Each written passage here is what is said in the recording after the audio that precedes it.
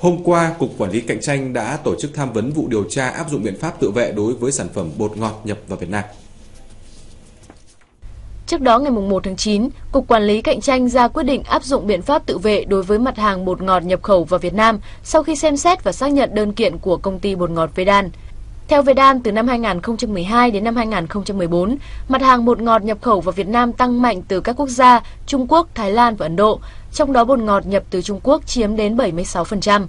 Số liệu từ Cục Quản lý Cạnh tranh cho thấy sản phẩm bột ngọt nhập khẩu vào Việt Nam tăng mạnh từ 3 năm qua, từ tăng 100% vào năm 2012 lên 172% năm 2013 và vọt lên 441% trong năm 2014. Kết quả buổi tham vấn sẽ được gửi đến cơ quan điều tra trước 17 giờ ngày 8 tháng 1 năm 2016.